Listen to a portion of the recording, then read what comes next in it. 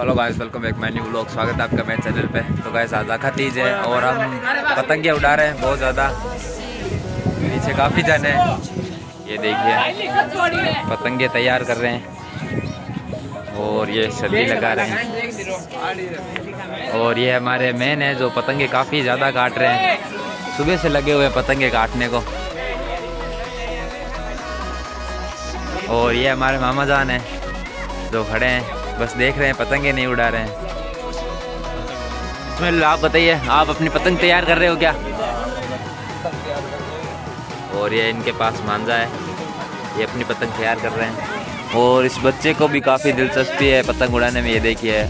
को ये भी पतंग उड़ा रहा है।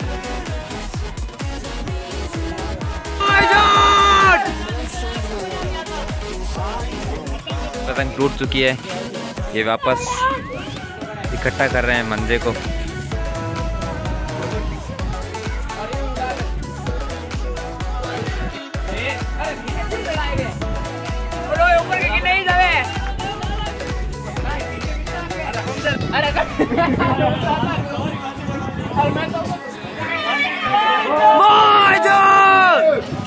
ऊपर है और ये पतंग अब ये तैयार कर रहे हैं इस पतंग को। ये मैं उड़ाऊँगा।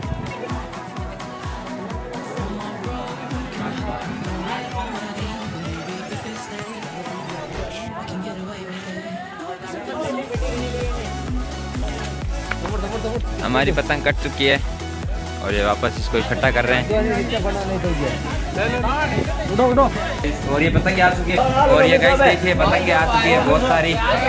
और अब पतंगे उड़ाएँगे। ये देखिए, लड़ाई कर रहे हैं पतंगों के लिए।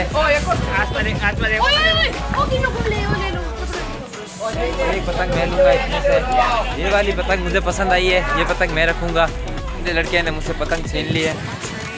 ये थोड़ा मुझसे बड़ा है इसलिए इसने मेरे को मार लिया और छीन लिया और ये मेरे बड़े भाई हैं जो देखिए टेप चेप रहे हैं और इनका कुछ काम नहीं है पतंग उड़ानी नहीं आती है। आपको मंजे वाली ये आपके पीछे पड़ी है मंजे वाली लटे वो देखो पीछे पड़ी है।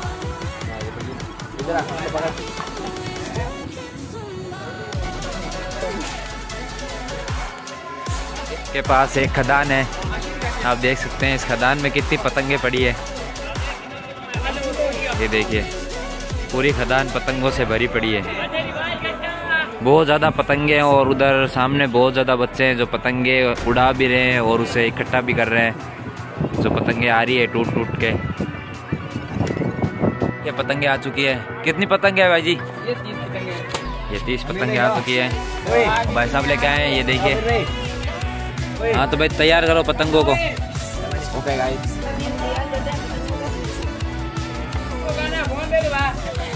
और ये काफ़ी खुश हो रहे हैं पतंगे आ गई है तो।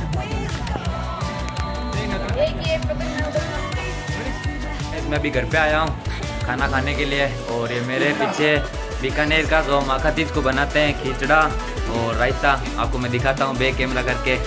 देखिए ये रायता और ये खिचड़ा।